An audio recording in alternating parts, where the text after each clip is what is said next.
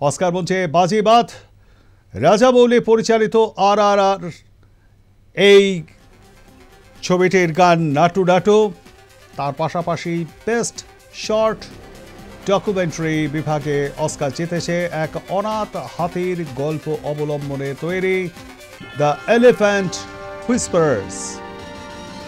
পরিচালক কার্তিকি গঞ্জালভেস। আমাদের সঙ্গে পড়ে রয়েছেন আমাদের প্রতিনিধি Rakesh. Rakesh golden globe award জিতেছিল এই নাটু নাটু গানটি। এরপর আবার কিন্তু আর আর আর এর এই গানটি, অস্কার, একেবারে মানে সর্বোচ্চ পুরস্কার যেটা, সেটা জিতে নিল।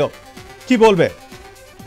তারপর সব থেকে বড় বিষয় যে বিশ্বের আঙিনায় এই ভারতীয় ছবির বলতে গেলে দৃষ্টিকোণ পাল্টে দেয় এই- সব পুরস্কার। আর অবশ্যই একাডেমি অ্যাওয়ার্ড বা এই অস্কার অ্যাওয়ার্ডের যদি কথা বলি, তার আগেও গ্লোবে কিন্তু ভারতীয় ছবির গান পুরস্কৃত হয়েছে। আর সেখানে নাতু নাতু গানের জন্যই কিন্তু সেই স্বীকৃতি। আর আবার অস্কারের মঞ্চে একইভাবেই সেই সেই গানই পুরস্কার এনে দিল, আর যেখানে, এই- গানটার প্রথমত যা জানা গিয়েছিল যে গানটির পারফরমেন্স থাকবে অস্কারের মধ্যে, সেখানে স্বাভাবিকভাবেই কোনো পুরস্কারের কোনো কনফার্মেশন কখনোই থাকে না, কারণ শুধুমাত্র নমিনেশনের ব্যাপার থাকে। আর সেখানে সবাই ভেবেছিল যে পারফরমেন্সটাই খুব বড় বিষয়, কারণ ভারতীয় ছবির গানকে অস্কারের মধ্যে পারফর্ম করতে দেওয়াটাই একটা বড় বিষয় হয়ে দাঁড়ায়। আর তারপরে এটা বাড়তি পাওনা বা অবশ্যই এটা বড় বিষয় যে ভারতীয় ছবির গান নাতু নাতু সেই গানটি কিন্তু পুরস্কৃত হলো। অন্যদিকে আরেকটি ছবি বেশ শর্ট ডকিউ বিভাগে পুরস্কৃত হয়েছে যেটি একটি তথ্যচিত্র যেখানে যার পরিচালনা করেছেন কার্তিকী গঞ্জালভিস আহ, ছবিটির নাম হলো দ্য এলিফ্যান্ট হুইসপার্স।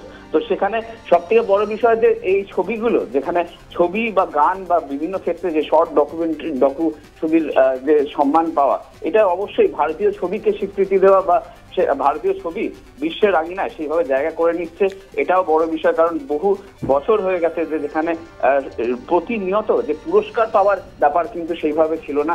সেখানে নমিনেশন যে বহুবারই জায়গা পেয়েছে, কিন্তু পুরস্কারটা অবশ্যই বাড়তি পাওনা থাকে আর সবসময় পুরস্কারের দিকেই তাকিয়ে থাকে। কারণ হয়তো একটা ছবির মূল্যায়ন সবসময় পুরস্কার করে না, কারণ অনেক ভালো ছবিও অনেক সময় অস্কারের মঞ্চে জায়গা পায়নি বা সেইভাবে পুরস্কৃত হয়নি। কিন্তু অবশ্যই যখন ভারতীয় ছবি এই মাপের একটি মঞ্চে জায়গা পায় বা পুরস্কৃত হয়, সত্যিই গর্বের ভারতীয় হিসেবে খুবই গর্বের বিষয়।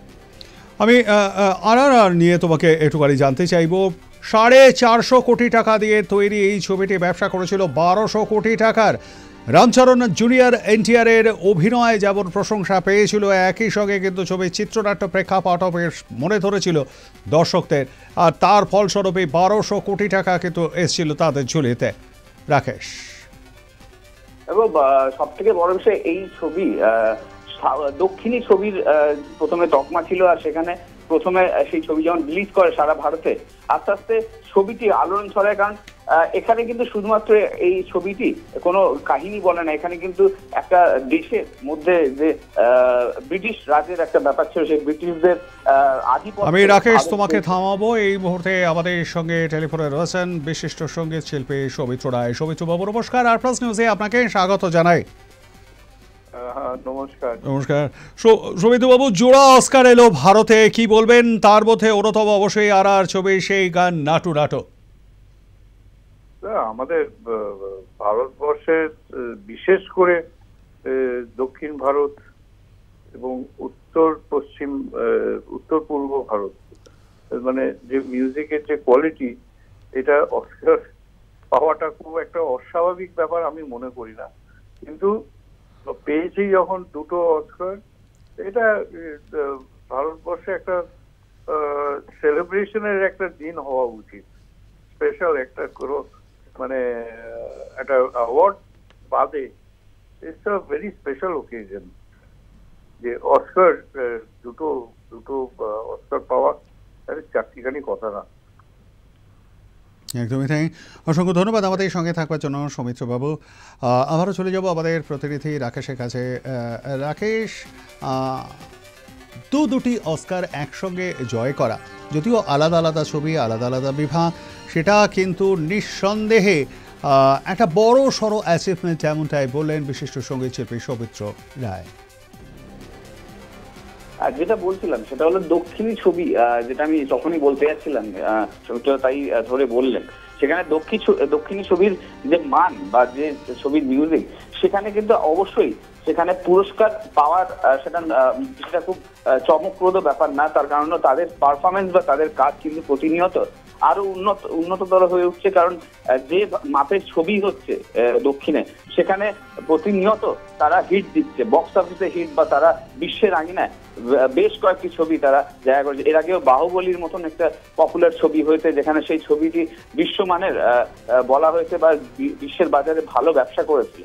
সেখানে আর আর ছবিটি কিন্তু এমন একটি প্রেক্ষাপটে যেখানে ব্রিটিশ রাজ ছিল যখন দেশে, আমাদের দেশে, তখন সেই সময় দুজন বলতে গেলে দুজন ব্যক্তিত্বের গল্প, যারা বলতে গেলে ব্রিটিশ রাজের অধীনে থেকেই তারা কিন্তু দেশের জন্য লড়াই করছে বা দেশের মানুষের জন্য লড়- লড়াই করছে। আর যেখানে এই নাতু নাতু গানটাও কিন্তু একটা রিভল্টের মতন বা প্রতিবাদের মতন। নাতু নাতু গানটা যদি কেউ দেখে বা ছবিটি দেখে থাকেন, স্বাভাবিকভাবেই এটা বুঝতে পারবে যে নাতু নাতু গানের মধ্যে যে সিকোয়েন্স রয়েছে, সেখানে কিন্তু ব্রিটিশদের বা ওয়েস্টার্ন কালচারের যে গানগুলো বা যে ডান্স ফর্মসগুলো থাকে, তার বিরুদ্ধে নাতু নাতু গান হলো দেশি ফর্ম সেই গানটি দিয়ে কিন্তু তারা প্রতিবাদ জানিয়েছে। আর সেখানে নায়ক হিসেবে জুনিয়র এনটিআর তার বাইরে রামচরণ এই দুজন পারফর্ম করেছেন আর তারা অনবদ্য পারফরমেন্স দিয়েছে তাদের ডান্সের মাধ্যমে। তাদের নৃত্য শৈলী বা তাদের নাচ অবশ্যই যেভাবে পপুলার হয়েছে, যেখানে সোশ্যাল মিডিয়া এখন তো খুবই সক্রিয়, সেখানে তাদের নাচ কিন্তু চারদিকে ভাইরাল হয়ে যায় আর শুধু তাই না, বিদেশেও বিভিন্ন পারফর্মাররা এই গান, এই ডান্স স্টেপটাকে তোলার চেষ্টা করেছেন কারণ খুবই কঠিন এই ডান্স স্টেপ যে পেস যে স্পিডের সাথে ডান্স পারফর্ম করেছে, এই গানটা যতটাই ফাস্ট ততটাই এই দ্রুততম ভাবে নাচতেও হয়েছে এই গানটির সাথে। তাই এই স্টেপ বা এই ডান্স স্টেপ তোলাটাও খুব কঠিন হয়ে দাঁড়িয়েছে। যারা যারা এই ডান্সটাকে কপি করতে যেতেন বা অনেকজন রিলস বা ভিডিওস বানান, তো সেখানে স্বাভাবিকভাবেই বোঝা যায় যে অবশ্যই যতটা কঠিন পরিশ্রম করতে হয়েছে এই গানটির জন্য যে সংগীত শিল্পীদের ঠিক তেমনই ততটাই কঠিন পরিশ্রম করতে হয়েছে হয়েছে পারফর্মারদের বা পারফর্ম দুই পারফর্মার জুনিয়র এনটিআর বা এদিকে রামচরণ। এই দুজনকেই কিন্তু এই গানটির জন্য যথেষ্ট বেশি প্রস্তুতি নিয়ে, নিতে হয়েছে, প্রশিক্ষণ নিতে হয়েছে, কারণ খুব সহজ না। যতই দেশি নাচ বলা হোক, সেখানে প্রতিটা স্টেপের সাথে দুজনে যেভাবে তাল মিলিয়ে পারফর্ম করেছেন, আর তার সাথে জমজমাট মিউজিক বা টান টান গান। তো অবশ্যই সাধুবাদ জানানো উচিত ভারতীয় ছবি, ভারতীয় সঙ্গীতের জন্য খুব বড় দিন, অবশ্যই ভারতীয় হিসেবে গর্বের দিন। একদমই। আর একটা বিষয় আমি তোমার কাছ থেকে জানতে চাইব যে এই দ্য এলিফ্যান্ট হুইসপারার্স একদম একটা অনাথ হাতির গল্প এবং সেখানে পশুর আর মানুষের বন্ধুত্ব তুলে ধরা হয়েছে দ্য এলিফ্যান্ট হুইসপারার্স এই ছবিটিতে। রাকেশ। দেখো, সেইভাবে এখনও পর্যন্ত সেই ছবি কিন্তু সেইভাবে যেহেতু এই এই ছবিগুলো সিলেকশন কমিটিতে পাঠানো হয়, কিন্তু অনেক ছবি রিলিজ করে না বা সেইভাবে প্রকাশিত হয় না। তাই সেখানে হয়তো দর্শক হয়তো কিছুদিন পরে এই ছবি দেখতে পাবেন। আর অবশ্যই এই এই গল্পটা অবশ্যই একটা মানুষ ও পোষ্য সম্পর্কের বা ভালোবাসার গল্প। কারণ এখানে যে সম্পর্কটা দেখানো হয়েছে সেই জন্যই কিন্তু মানে পরিচালকের যে দৃষ্টিভঙ্গি আমি রাকেশ তোমাকে একটুখানি থামাবো। এই মুহূর্তে আমাদের সঙ্গে টেলিফোনে রয়েছেন বিশিষ্ট সংগীত শিল্পী রাঘব চট্টোপাধ্যায়। রাঘববাবু নমস্কার। আর প্লাস নিউজে আপনাকে স্বাগত জানাই। হ্যাঁ থ্যাংক ইউ সো মাচ নমস্কার সকলকে good morning good morning good morning রাঘববাবু। জোড়া অস্কার ভারতে কি বলবেন এবং তার মধ্যে অন্যতম আর আর আর এই ছবিটির গান নাটু নাটু। হ্যাঁ হ্যাঁ আর আর সাংঘাতিক ব্যাপার এবং তার সঙ্গে এলিফ্যান্ট হুইসপারার যে দুটো একটা শর্ট ফিল্ম একটা বড় হিন্দিতেও দেখেছি তামিলেও আছে। তো এটার মানে কি বলব এর মতো আনন্দের বিষয় একজন ফিল্মের বা আমাদের এই ইন্ডাস্ট্রিতে কাজ করার একজন কর্মী হিসেবে একজন ভারতীয় হিসেবে এর থেকে বড় গর্বের কিছু নেই যে ভারতে প্রথম অস্কার এলো এবং দুটো এলো একসাথে। এবং সেটার মতো আনন্দের আর কিছু নেই। ভীষণ ভীষণ খুশি হচ্ছি এবং ভীষণ আনন্দ লাগছে ভীষণ গর্বিত লাগছে এবং আমার খুব মানে আমার প্রচুর কি বলব যে শুভকামনা এবং শ্রদ্ধা যারা তৈরি করেছেন এই ছবি এই ছবি দুটি, তাদের প্রতি আমার অনেক অনেক ভালোবাসা এবং অনেক শ্রদ্ধা জানাই। খুব ভালো লেগেছে অসংখ্য ধন্যবাদ রাঘববাবু আমাদের সঙ্গে থাকবার জন্য। আমরা আবারও চলে যাব আমাদের প্রতিনিধি রাকেশের কাছে। রাকেশ দ্য এলিফ্যান্ট হুইসপার্স এই যে তথ্যচিত্রটি তথ্যচিত্রটি পরিচালনা করেছেন একজন মহিলা, কার্তিকে গঞ্জালভেজ, এবং প্রযোজনাও করেছেন গুরিত মাগা। তিনিও কিন্তু আর একজন নারী। দুই নারীর হাত ধরেই কিন্তু দ্য এলিফ্যান্ট হুইসপারার্স এবারে বিশ্বমঞ্চে জিতে নিল সর্বোচ্চ পুরস্কার। রাকেশ।